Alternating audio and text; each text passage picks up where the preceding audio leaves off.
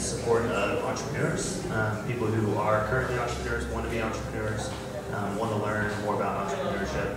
Uh, so each week we have two companies present about what they're working on, and then um, some great Q&A from the audience uh, trying to learn more. So we we're all about supporting uh, entrepreneurs. So we, we ask that you ask good and, and tough questions, um, but are, are helpful questions for our entrepreneurs. So this week is a little uh, unique in that um, we're going to start testing that uh, an idea um, that we've been working on with the Kauffman Foundation, where once a month um, we turn away from doing our typical startup um, type companies to um, a theme for the month. So this uh, month it's urban communities. So obviously there's a lot of really cool stuff happening downtown. So we wanted to take um, a week and highlight some of that um, and then talk about where we're going as a community forward. So um, next month we're going to talk about the arts. Um, we're going to do a month with students coming and presenting about their companies. So it's going to be really exciting. So if you have ideas for some of our themed weeks that are going to happen once a month, we'd love to hear it. So, um, so today we've got two great companies um, uh, or organizations, I guess neither one of them are companies. Um, first one is uh, Guthrie Green, uh, which I think everyone's familiar with. So we're going to talk about the process of uh, creating Guthrie Green and what that experience has been like. Um, and then we're going to um, talk about downtown as a whole and, and what's happening with downtown. So, uh, so to kick us off, uh, Stan Doyle is going to come and talk about Guthrie Green. So give him a hand. Thank you, Thanks for having me today. My name is Stan Doyle. I'm a Senior Program Officer with the George Kaiser Family Foundation and um, learn how to use this. Um, today we're talking about Guthrie Green. Um, this project started in uh, 2007, more or less, before I was with the foundation, um, when uh, GKFF was looking uh, kind of to make an investment in the arts. There was uh, um, some designers in town and um, they pointed out the Brady Arts District was ripe for work. You know, I think a lot of people who lived here have known that for a long time. Um, but with the foundation, it was kind of a, just a, contemplating what investments could be made downtown. Um, the other part of this was uh, the Eugene Adkins collection is currently um, kind of uh, taken care of by the Philbrook and the Fred Jones Museum at OU. Uh, at this time, in 2007, uh, the foundation was working with other philanthropists to try to retain this in Oklahoma. If you're not familiar with the collection, it's uh, estimated value about $50 million, uh, one of the best collections of contemporary Native American Southwestern art. And so, for that reason, uh, the foundation purchased half of the Tulsa Paper Company building that's just to the south of Guthrie Green. The other piece was what really they thought was needed was a green space for kind of a community gathering spot. Here you see the top image is uh, before. That was a Central Freight. Uh, they had probably somewhere near 100 uh, semi trucks come in daily to drop off and transfer loads. And um, then obviously down below is one of our early uh, after pictures. Um, another key component of this was a geothermal well field. This is to provide uh, the ground source water for uh, heating and cooling in the Tulsa Paper Company building and the AHA and um, this is just a diagram to kind of show you how it works. It's about 120 wells and 15 circuits, circulates water to the Tulsa Paper Company and AHA buildings where it's then used in heat pumps to heat and cool the building. So down below it, there's 120 500 foot wells. That, that was kind of the first phase of the project. Um, what we found were, uh, we, we knew for sure because there was an old gas station on the corner that there were a couple of fuel tanks. Uh, we were able to get a brownfield grant um, to remove them and kind of treat the, the earth. Uh, we found 12 fuel tanks, so that's uh, eight undocumented fuel tanks. This is something they'll run across everywhere downtown, and, that, and that's the oldest part of the city, uh, kind of the Brady Greenwood areas, and um, that's one of the challenges of developing areas, just the ancient infrastructure, and just, you know, AT&T has lines down there they think are somewhere around here. Uh, so it's, it's kind of interesting to see. Uh, solar canopy was another part of this. We received a grant from the Oklahoma Department of Commerce um, to construct the well field and also to purchase solar panels to help for the operation of the building, uh, for the park. Um, and you can see the statistics about um, 49. This is from last fall, so it's it's grown since then, but Um, you know, it's not a huge uh, contributor, but it is something uh, that helps just with the operation of the park. Um, so we built a park, and uh, this was something the foundation had never done before. Obviously, you might have heard the gathering place, we're doing it again, whether we really know what we're doing or not. And uh, so a big part of this was you can build a green space. We all knew this. There's companies out there that consult on green spaces and how to activate them. So we bought their books, and um, we knew that green space is important, but activating is really the key piece. Um, so we started early on the programming. We kind of stop design in order to put the stage together and uh, to design it so it would be truly useful performance space. Um, I think in the beginning the stage was kind of an afterthought, so we really had to put them on hold and say we brought in stage designers to design something that would be really helpful, especially for putting things on quickly. Um, we imagined in January you might have opportunities to really do something on those beautiful days when nothing else is going on. Um, so, we want to do programming, we built the infrastructure for it. Um, we've, uh, Aaron Miller has been a huge part of developing this, but we have fitness programming five days a week, uh, seven days a week. Uh, we have uh, food truck Wednesdays, something Aaron had uh, kind of the point man on. Uh, Thursday night movies, Sunday market, and concerts, and these are all things that we just wouldn't it be nice if we did this? Let's see how it goes. Um, this is done in, in, partnership with a number of different entities, as you can see here. Um,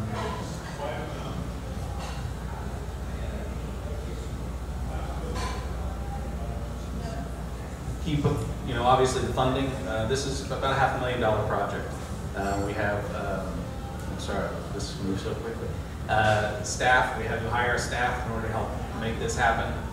And obviously we rely a lot on volunteers to help us with these events. I mean, it's pushing up to seven days a week. The other thing we do, uh, the staff also runs the fly loft across the street. We have rehearsal spaces that we operate. Um, and all this is done pretty pretty minimal um, cost to the user. And then event development. We have a number of things we do outside of the park throughout downtown. And that is all. all Thank you very much.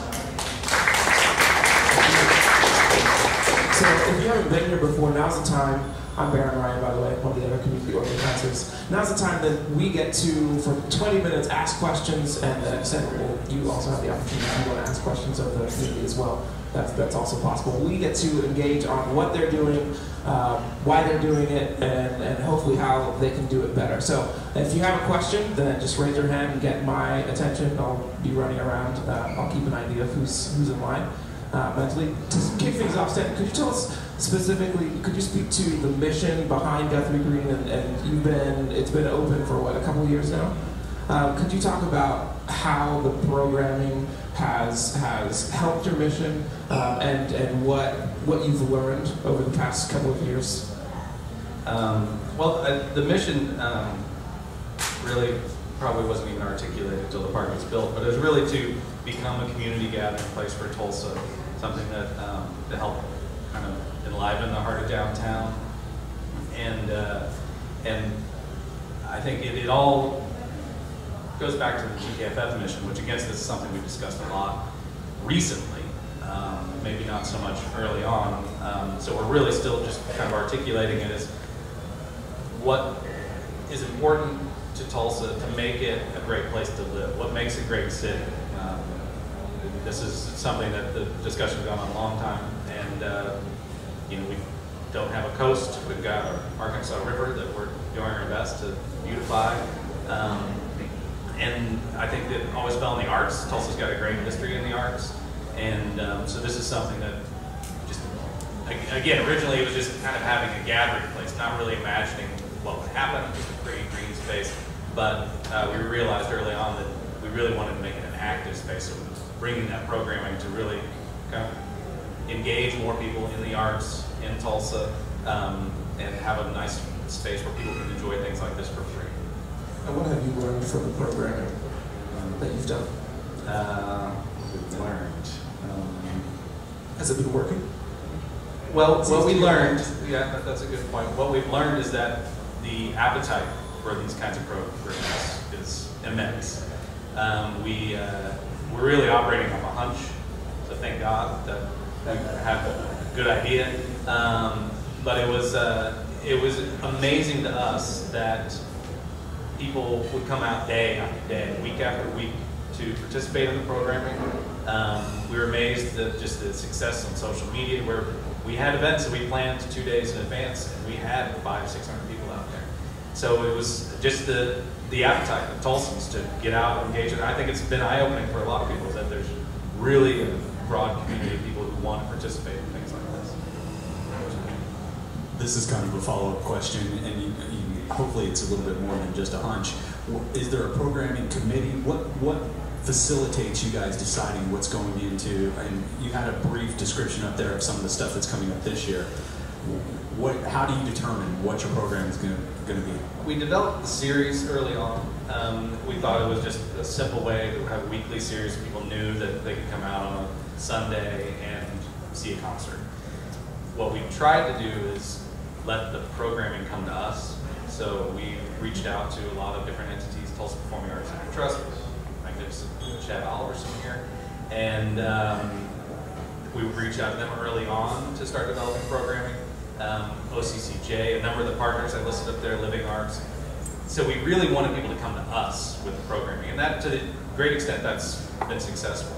Um, Tulsa Roots Music is one that early on they developed their concert series and festivals. Um, Horton Records is another, and then we fill in the gap. So our programming staff is there to make sure all these things happen and make sure the technical needs are met.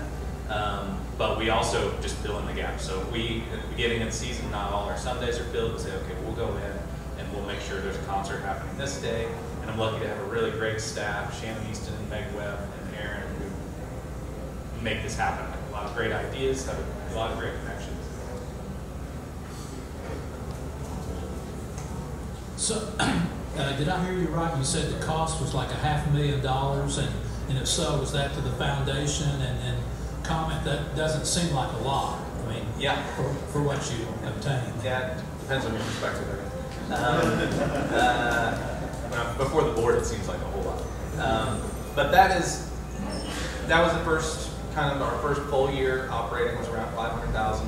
That includes security, uh, that includes all the landscaping maintenance. So the programming budget is probably more around 100 150,000 uh, just for artist fees that go out.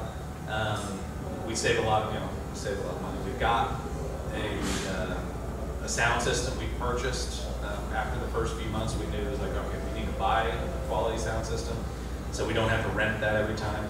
Um, but uh, it's it's it's probably not a lot, um, but it includes a lot of things. For example, security it'll go down. We used to have off-duty police officers every night. We've now switched to a security service. We're saving a lot of money in that respect, looking to try to make a sustainable model. But and it's mostly GKFF money. Uh, we do we got a grant from the National Endowment for the Arts, um, and uh, we are starting a sponsorship program, bringing in people slowly. So like the fitness program sponsored by Fowler Toyota, small things like. So within my social circle, we consider Guthrie Green a huge success. We love going down there. It's great. It's great. Do you have something that you're planning over the next couple of years, or that you're implementing to bring it to a whole new level? uh, whole new level. Um, no, I think our big challenge. I mean, we our, we really want to sustain what we have. Um, there's really not much room in the calendar for much else. We'd love to be able to react quickly in the wintertime months when we have beautiful days. We want to try to program as much as we can throughout the year. We also do understand the need for having just quiet times at the green. Uh, if you've seen our lawn, we do also like to try try and keep that alive. Um, the um, our big challenge is over the next few years kind of integrating with gathering place. How do we that will have not be as programmed. It's going to be a little different feel there, um, but we are all working together, and so how they work together will be a big challenge. Whether we'll slow things down at Guthrie Green and ramp things up there, and even the structure. Or will it be one entity, and will the programming? Programming will always kind of coordinate as long as GKFF is running it, but um, that's one of our challenges. But in terms of ramping it up, I think we've, we've reached our capacity. We would love more people to come in with programming ideas uh, and more participation from other entities. So we're, you know, as much fun as it is, ramp down our programming and let other people bring activities there. You started to speak to this a little bit, but I'm just curious, what other things you guys have thought about um, implementing as far as keeping it sustainable? Um, I don't know how long the plan is to keep it going with the foundation money, but are there other systems you have in place? Obviously, it's great that it's free, Yeah. but reducing costs to me doesn't mean sustainability. It just means less that you have to pay each year. Would that mean getting more sponsors for different types of events, or is there another avenue, something unique that you guys have, have found that will keep that going? Yes, I think um, sponsorships will be a critical component of that. Um, and um, like I said, as we kind of develop a programming plan for Gathering Place, hopefully we'll work something into that as well. Um, we do, we've been, we do have fees for use of Guthrie Green, and um, we are pretty lax with those in terms of nonprofit uses, so we'd like more corporate uses for the park and be able to rent it out. We are pretty committed to keeping it free. The idea of having a, a once you open it up to having weddings and ticketed events, then it can quickly become all that you have, and it really eliminates the kind of public use of it. So my goal is to, to always keep it free and, and not have private uses of the park. So, what has been the thing since you've opened and maybe even during the development that's been the biggest surprise problem that oh crap we didn't think that was going to happen how do we deal with this Um, the lawn was a big problem. Uh, it just never got a chance to survive, so we just replaced it here recently. Um, I think it, it was anticipating all the uses. Uh, it's pretty remarkable, I think, um, and really a testament to Tulsans that we've had so few problems in terms of security issues. We have furniture sitting out there, and very few pieces have actually wandered off. Um, there's uh, so and people are kind of just the way people behave and police themselves and each other, and, and it's been a pretty great, remarkable surprise. Um, problems are maintaining equipment. I, you know, we've learned a lot in terms of you know like the fountains. We've, got- we've got four fountains that don't work right now.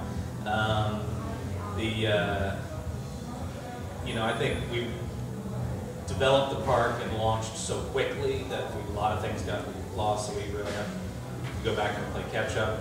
Um, Aaron, would you add anything to what things we've learned?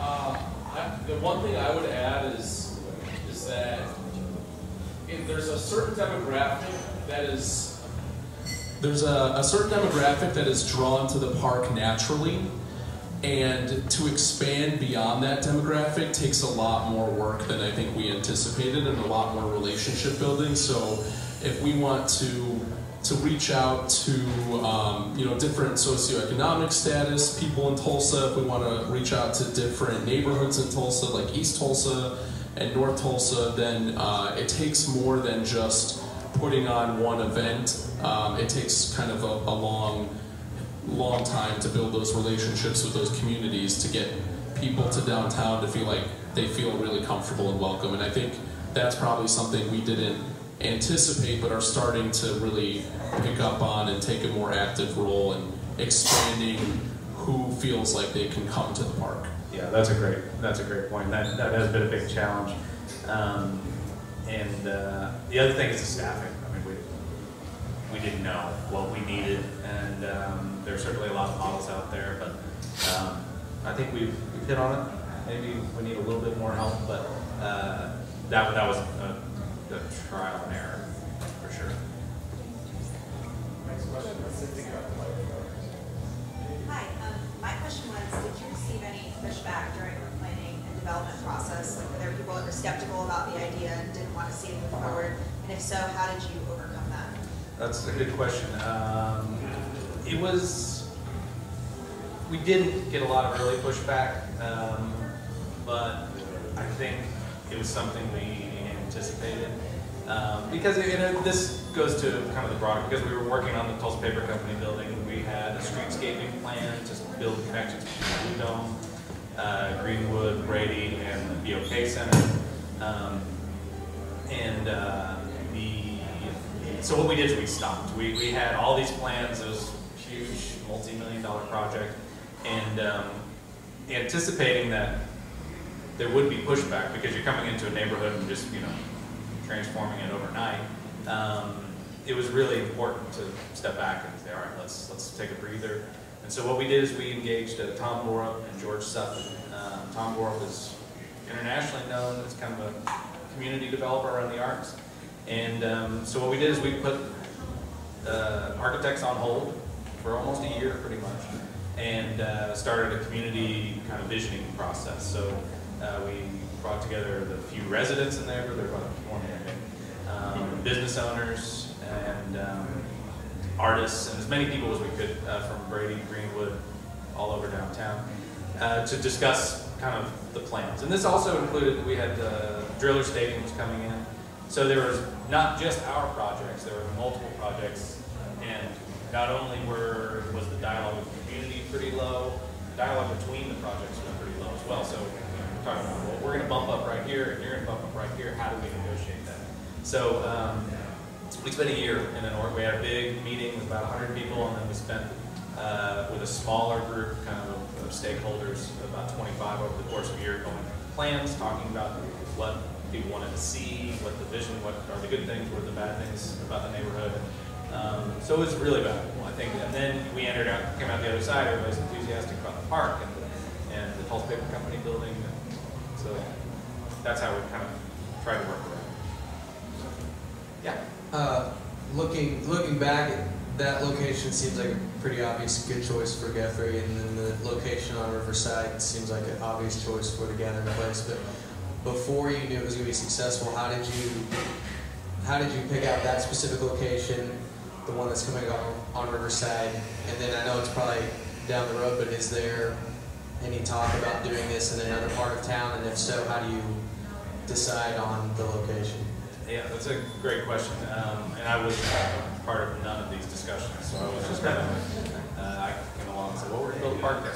And I was the project manager. But the, uh, from what I know, um, so Guthrie Green was just, it was the obvious space. It was right across from the Tulsa Paper Company building. It was just like, this neighborhood needs some help. And we start fitting the pieces together.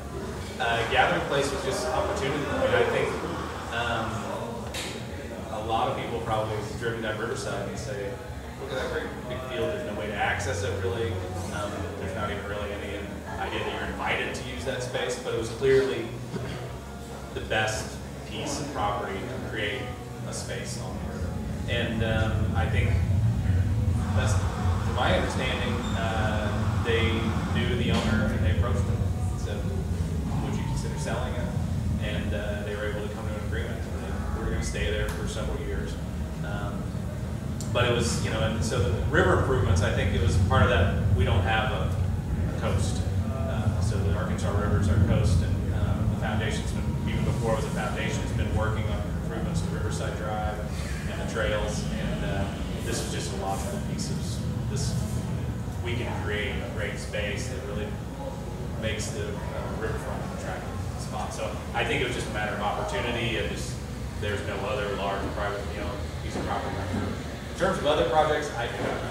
Um, you know, it's uh, we don't know if there's really another project. I'm sure there will be one, um, but uh, we've been so busy trying to get through these two. I time to think about it. So you talked a little bit about the gathering place and, and the location for it. Could you discuss what is going to differentiate it from Guthrie Green and how you you don't want to have two spaces that that compete for the same you know, events and the same uh, audience. So how, how are they going to be different? Well, uh, the programming right now they say this. I tell them they're wrong, but uh, that it really won't be a heavily programmed space. It's going to be a family place. There'll be food, um, and it's going to be there's going to be playgrounds. Uh, it's going to be a pretty remarkable space to take your family picnic, play games, uh, play in the river, etc. There will be some program. You know, there's going to be cafes, so they'll have acoustic acts that come down and play, um, but it will not be event focused. I'm sure there'll be a lot of groups pushing them uh, to who want to do things like symphony out on the lawn, things like that. But the the idea is that Guthrie Green is really the performance arts focused space. That really, once you have an event there, there's little else you can do. And um, Gathering Place will be a larger, just a place for uh, for families to get together. But to avoid any conflicts, we'll all be working on it together on the program. Um, for the gathering place, we're really excited to see that come to life, but parking's always an issue. Is that something that you guys are looking at with the forethought of the growth that Tulsa is going to be having over the next several years? Is that something, I mean, because a lot of times it seems like we set it up for right now, and then a year from now, there's nowhere to park. So is that, is that something you guys are definitely taking into consideration? The plan has hundreds of parking spots in a couple different locations. Um, whether that's enough, who knows? Um, but it will add, I don't know the number, I apologize. Uh, it's several hundred more parking lots, parking spots to the River Parks area. Um, now, again, I don't know if that'll be enough, uh, but they certainly have done their best to accommodate as much parking as possible without paving the uh, gathering place itself. Okay, then to finish up, what can we, the community, do to help you succeed? Uh, well, um, if you have an organization, we encourage you to apply and apply now for next year. For if you want to, if there's events you want to do, um, we always need volunteers, um, and we need people to get the word out, continue to spread the word, um, and uh, just when more people bring your friends, bring people from out of town. And, um, and if you have a company and you're interested in being involved in uh, Guthrie Green activities, and think you might want to do a sponsorship, we can, uh, we can accommodate you for sure. Aaron, is there anything you would add? All right, let's give a hand for standing.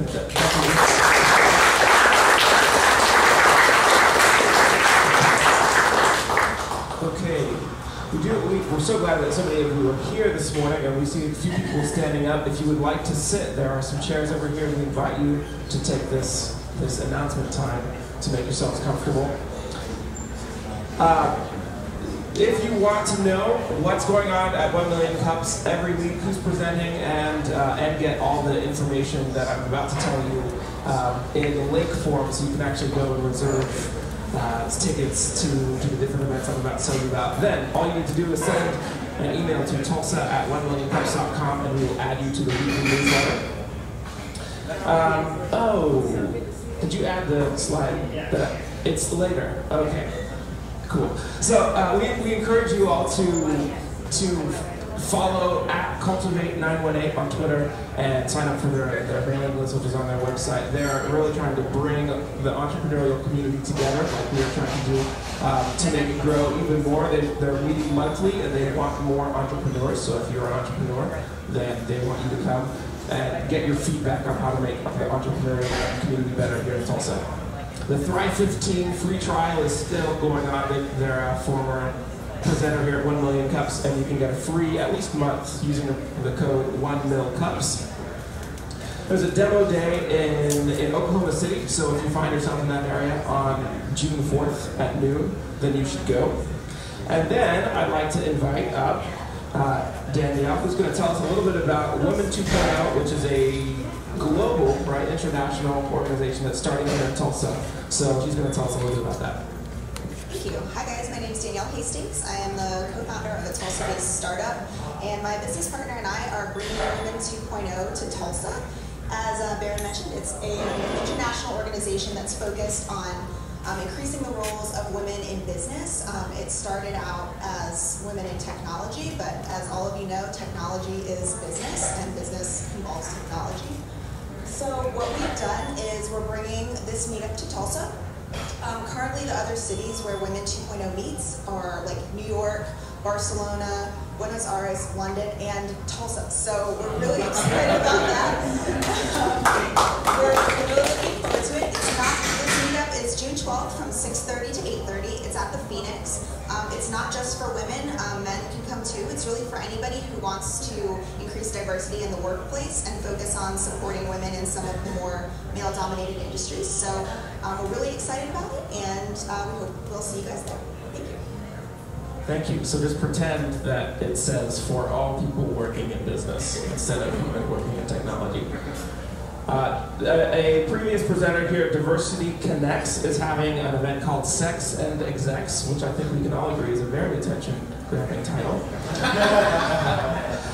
it's, uh, it's a discussion and networking event on June 26th. Again, if you want to know more about that, then sign up for the newsletter. And we'll put the link there. If you have other theme ideas, for special editions, as I like to call them. This is our, in case you came in late, this is a special edition of 1 Million Cups Tulsa. So we usually have two startups present that are about three years old or less and are scalable, but we thought there's a lot more that's happening in the community than just that, than just the, that group of presenters. So we wanted to open it up to, to other presenters who are doing innovative projects um, in, in, different areas. So, like Dustin said at the beginning, this is uh, Urban Community Edition. Next week or next month, we're going to have the Arts Edition. When we're going to have some more in the future. So, if you have other ideas of uh, innovative projects or, or, organizations that you think that One Million Cups community should know about, then we want to know, and, and we'll see if we can have a theme idea around that sometime in the future.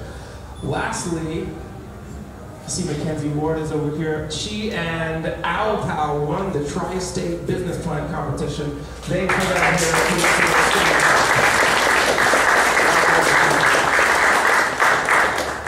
Okay, and now it's my pleasure to introduce Delise Tomlinson, who's going to um, tell us a little bit more about what's going on in downtown Tulsa. And, and then she wants some feedback from us as well, which I'm sure we'll all be able to provide. So let's give a hand for Delise.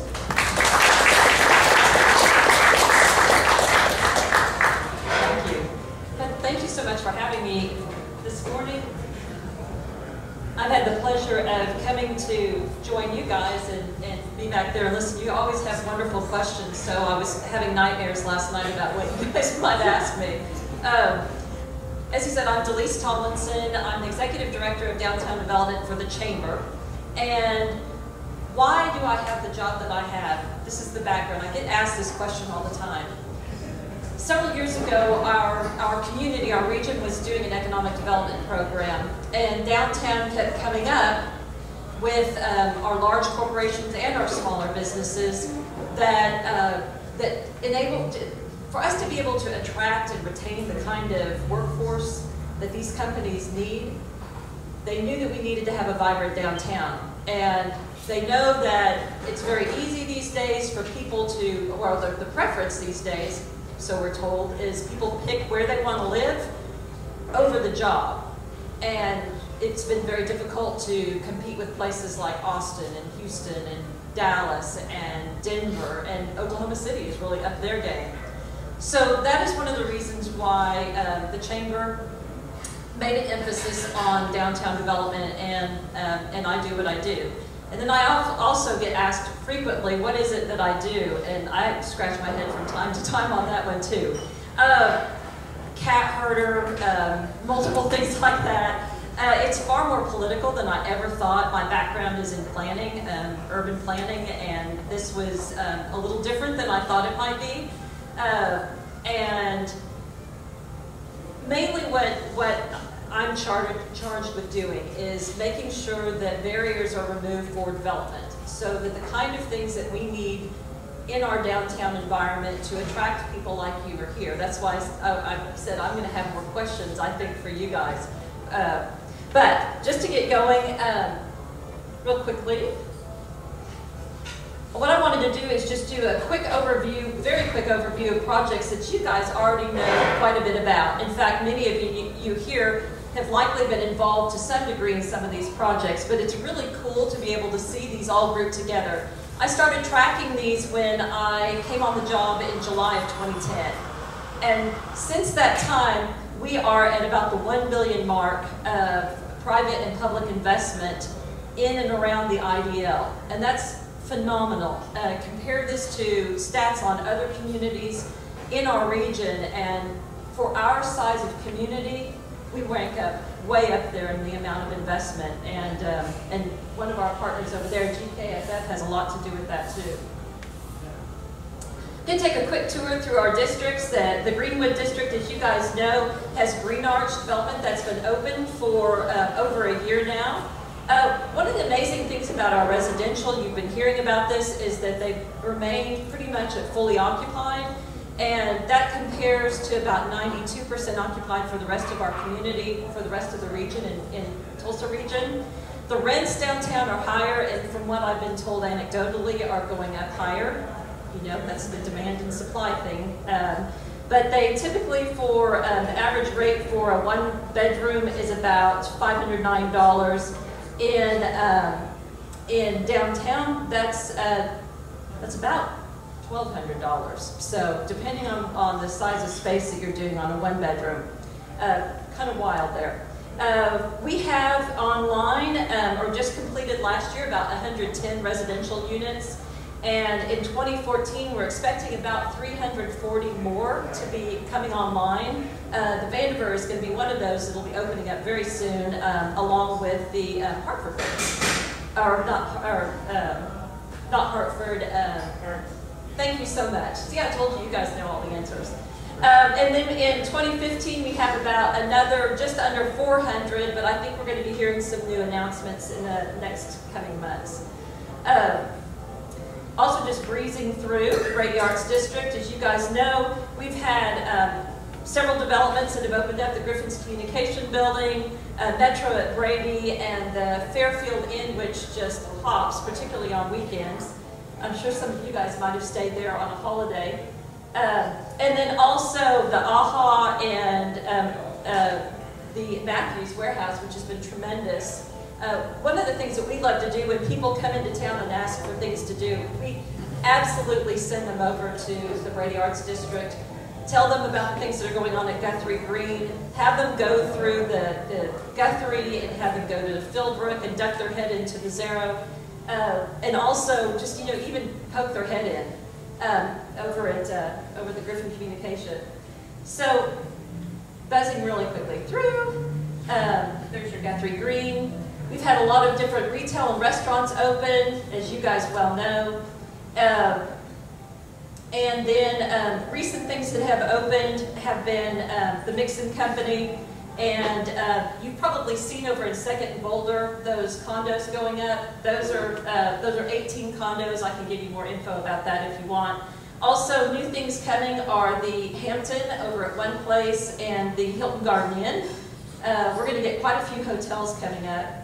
And, uh, and then several buildings are on, on deck for being converted into residential. So that's good news since we're saying we need residential and that is the Adams, the old Adams Hotel, 111 um, West Main, the Vandever that we said was going to be open, and Transok Building. And I think I need to stop there. Wow. well, Call I'm me sure, if you want more. I'm sure we'll have a lot, a lot more to delve into. So now's our chance again to to ask Delise about what's going on and try to help help them get better. And Delise, at, at some point you wanted to ask questions. Yeah, I, I sure do. Do you want to do that now? Or May I? Okay. Okay, so let's the questions for us, and we'll get the microphone. Okay, so you guys really are, generally speaking, our target audience. So one of the questions I have for you is how many people grew up in the Tulsa area? So quite a, quite a few of you. For those of you that did not, um, well, I'll ask you this first. Those of you that did, uh, what caused you to stay? One at a time. Just generally speaking, what people do is a quick sample. Uh, family, friends, and a job. Uh, that's, that's a good one. I didn't stay, I've come back. And why? Downtown development, no, uh, family. Anybody else, any something different than family?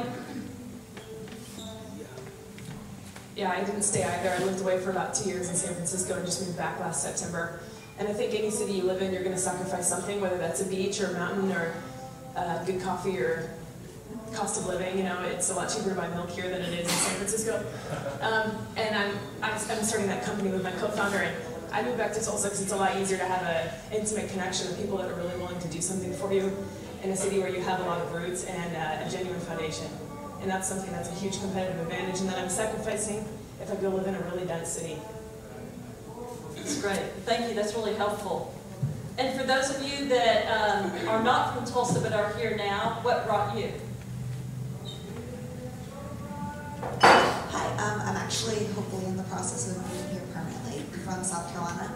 And, um, and I can say that when I first came to Tulsa, it was actually for the Route 66 Marathon, and I was like, oh, I'm going to be running through a wheat field, no offense to you guys.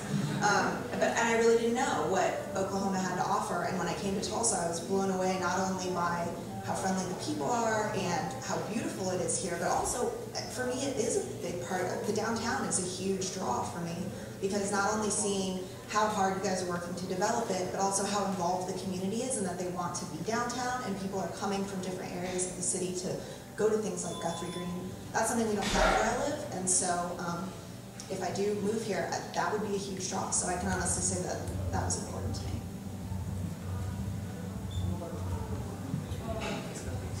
I moved here from Milwaukee, and the reason I came was because Tulsa had the strangest university in the world where I could get the education I actually wanted. But what kept me here was the entrepreneurial community is enormously helpful. Uh, it's made up of all kinds of people who go out of their way to go out and help you. And it's, it's just amazing that the people here in the business community is much more willing to try new things than where I came from in Milwaukee. And um, the weather is nicer up there, but that's about it. And, and before we get um, continue, I want to point out uh, what somebody I consider a partner in crime, and that is Tom Baker. He's the manager of the Downtown Coordinating Council. He's, he's back there looking, trying to hide. Uh, but I asked him to be here this morning just because he, uh, he works with Downtown Coordinating Council. They are funded through the assessment that um, property owners pay, and uh, they provide uh, cleaning and safety and marketing for the downtown area, among many other things, and, and are a huge supporter of events downtown. But anyway, I just wanted to point him out so he can help. Uh, um, I moved here about a year ago um, from the Dallas area, but I moved here specifically for what was happening downtown. Um, I moved here to uh, open a uh, bar with my business partner, and we looked. Um, I'm from Texas. We looked throughout Texas and Oklahoma, some of the areas, but we were really excited about what was going on downtown and we also looked at um, not only where we wanted to open up a, business, but also the, um, where we wanted to live. And Tulsa was the highest for both those. And you don't have to say nice things just because I work for the chamber.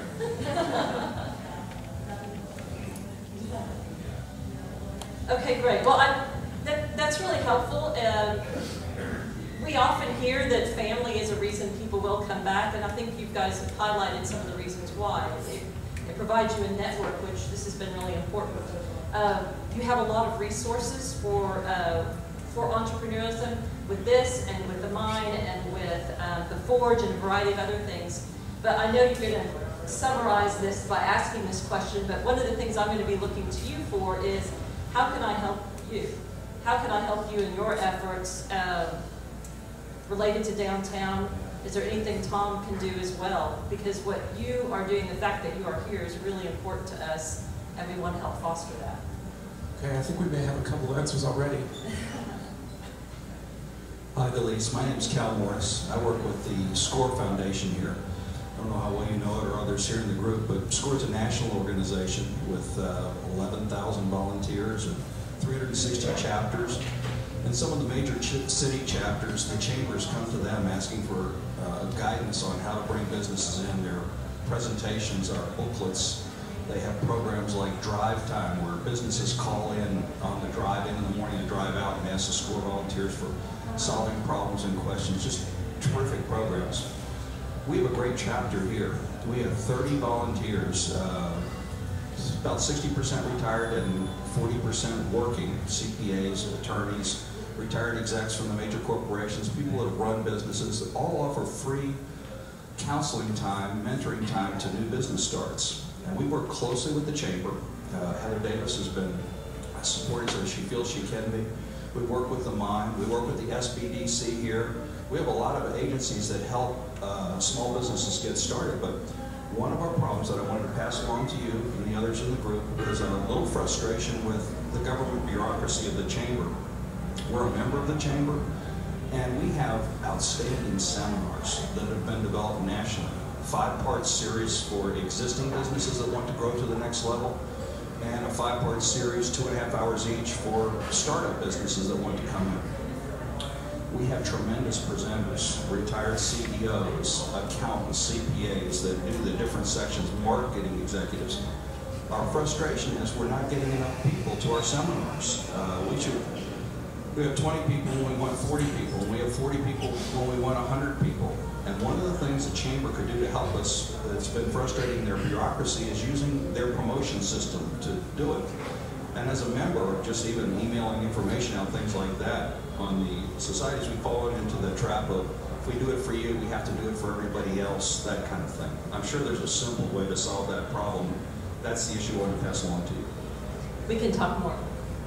Hey, that's really great feedback. Um, I, mine's very similar to that, to where I hear a lot of programs, not just with Tulsa, but every single city, about bringing big business into the city and about the large corporations. And if we're your target audience, I'd love to see more programs like the Forge Incubation Center, where you get uh, tax benefits for being part of the incubator program. Even that is a very well-kept secret. I think my CPA thought I was high when I first told him that there was a program like that. I had to prove it to him. So more things that just come down from the top helping startups, helping smaller businesses grow from the bottom up instead of focusing on the larger corporations.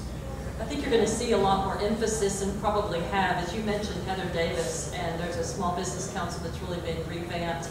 Quite a bit more emphasis on small business because it actually is and represents a larger percentage of our overall membership in the chamber. And, uh, and certainly that's not just entrepreneurs, but our small businesses started out that way, and we, we recognize that, so you'll see more. Um, and, and, my, and when I say this, I'll be able to pass a lot of this on. Some of this you probably already know and have talked with some of my partners at the, at the chamber.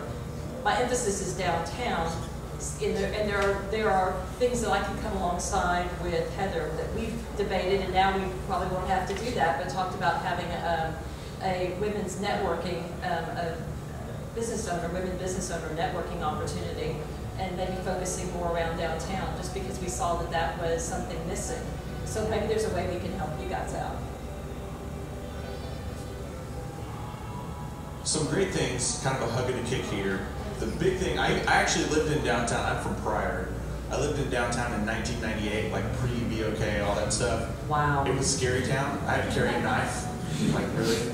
Uh, I love it now. I think it's great. We live south, though, and the only difference really that, and I'm really excited to see there's a lot more residential coming this way, the only thing that keeps us from downtown is the, incredible school system south Tulsa. You know, family's a big part why people stay here, and there's great colleges downtown. It's just Tulsa Public, it, it doesn't really meet the standards that we're going for.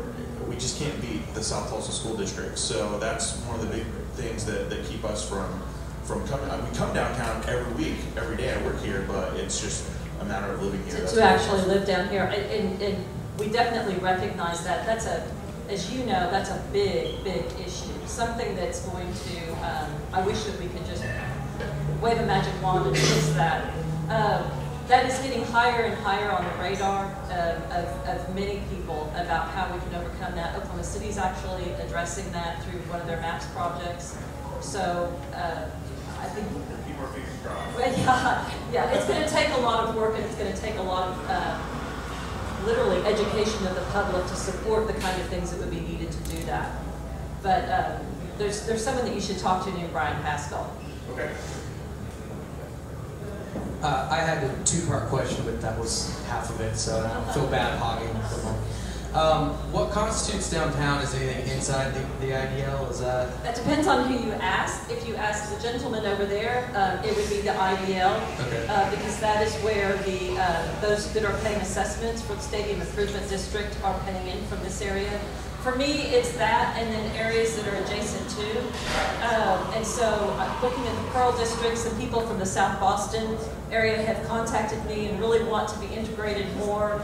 Um, people are associating themselves with downtown more and more, and, and that's actually better.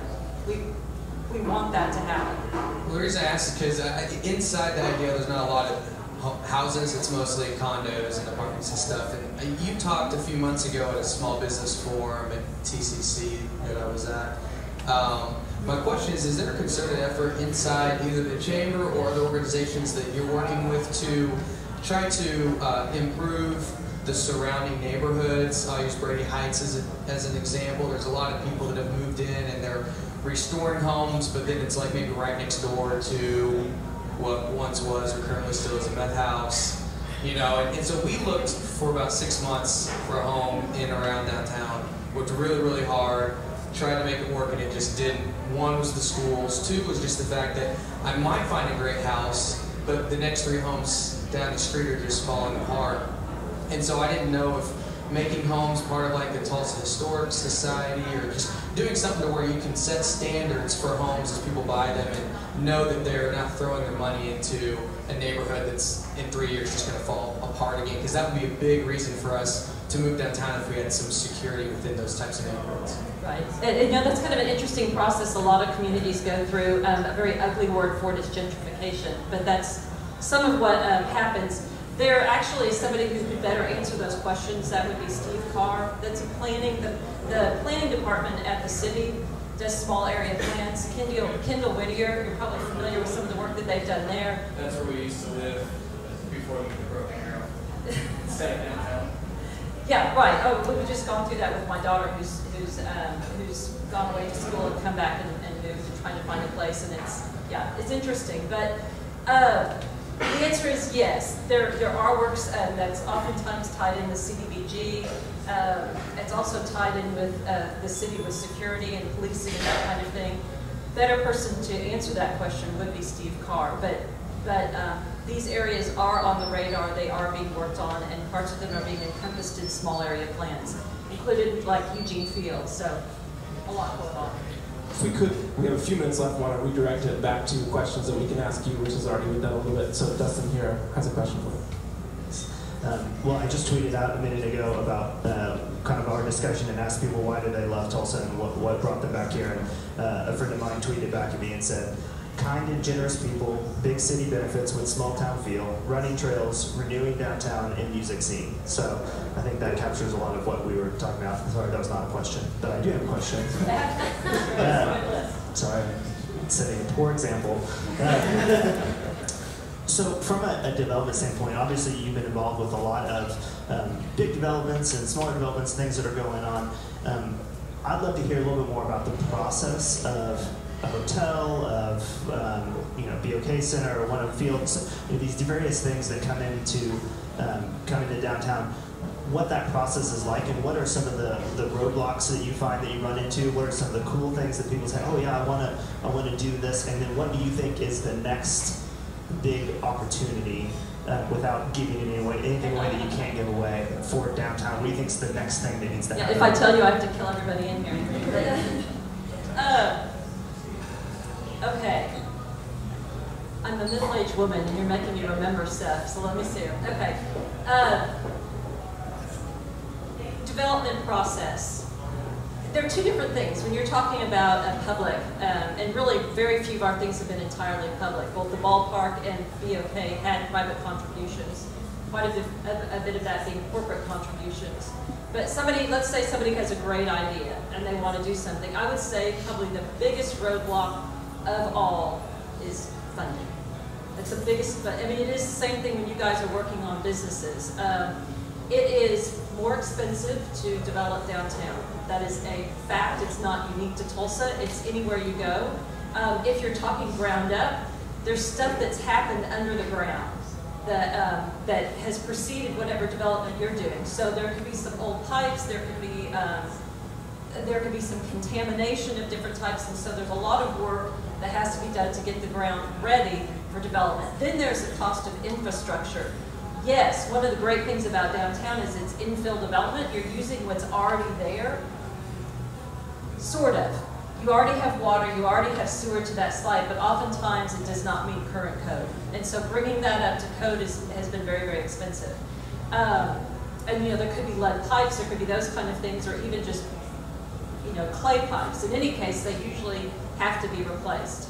Um, and then there's electric a lot of times when people want to redevelop, and I'm just talking about, let's say we want to get this parking lot redone. Um, you're going to have to move electrical lines. A lot of times we'd like to, to bury them, but that's a, an expensive, considerably more expensive than having them overhead. So it's expense.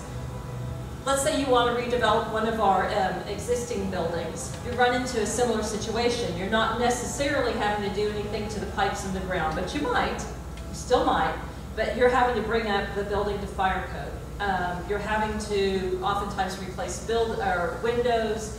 Um, the, these days now, because we've been having some earthquakes, um, I know uh, looking at the Vandever, they had to do, uh, they had to reinforce they did it in a very cool architectural style way. So um, it just looks like a really funky, cool feature. But it's to make sure that the building um, uh, will remain stable if the ground isn't.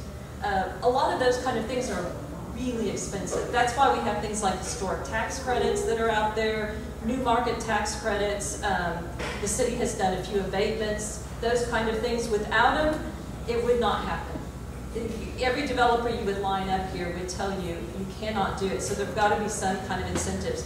One of the things that we've been really working on very hard over at the state and at the federal level is making sure we don't lose our historic tax credits. Um, it's probably one of the best policed tax credits that's out there. You have to perform to be able to get the credit.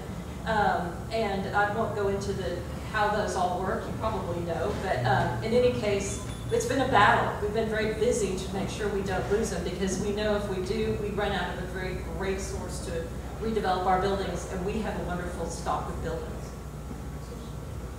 Hi, yeah. I'm curious to know if your marketing strategy focuses more on bringing people to Tulsa that are currently living like in Oklahoma and keeping them here, or if it focuses more on bringing people in from out of state and if it is focusing on people from out of state, how do you work to change the perceptions of Oklahoma that people who have never been here have? I'm going to start with your latter part of your question. There is um, a branding process that's going on right now for Tulsa as a whole, and uh, and that really is part of it. Downtown is a small subset of it, and that's where they're working on on um, external. Uh, they're working along with the city on that, which is different than visitor. So the the Convention and Visitors Bureau, the Visit Tulsa has their uh, approach. So they're a little bit different.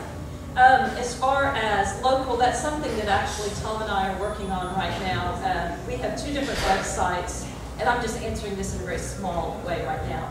We have two different websites that we're working to bring together. So we, we have one centralized location where you can find out what's going on downtown, um, as well as where you can live, where you can eat, those kind of things. And, um, and quite frankly, we're open to hear. Right, we right now are kind of in a lull on how we're marketing and are interested in hearing from you how would be a great way to reach out locally um, and whether there's merit to look, you know, reach out within the state as well.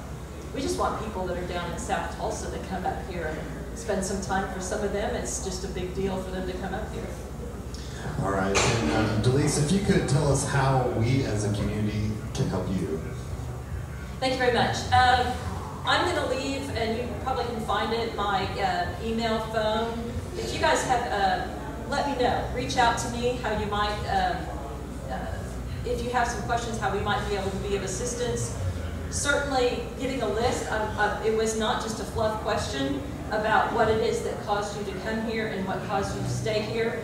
If you have other things that your friends and, and others that have come, ask them that question you know, what brought you here? Sometimes a lot of people I ask it was a job.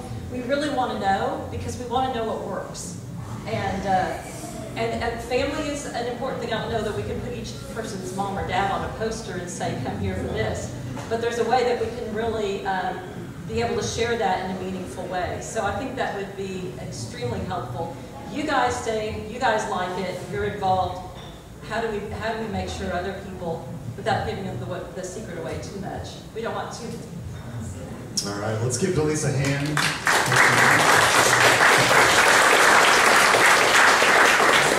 Again, this um, was just our first special edition of 1 Million Cups. We're looking for more themed ideas, so just let us know.